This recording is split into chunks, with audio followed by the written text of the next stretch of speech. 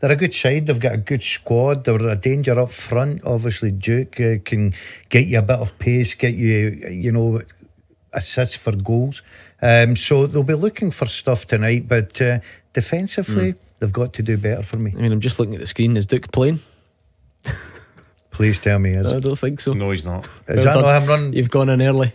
Is he not playing? I don't think so. Well, I, I feel that Aberdeen could have a big miss tonight. There's a and goal. lose Aberdeen have scored. There we are. Uh, Aberdeen have equalised. Dante Polvara has smashed one into the roof of the net, and there you go. Everyone had written Aberdeen off. Charlie Mulgrew.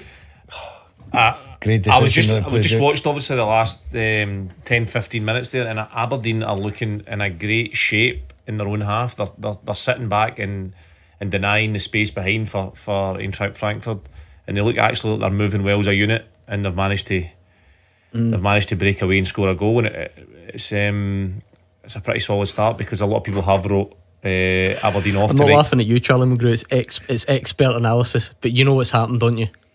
What? You're going to deny it all you want. I've worked with you too long.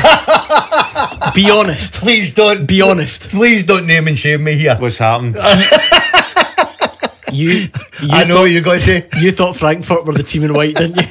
I could tell. oh my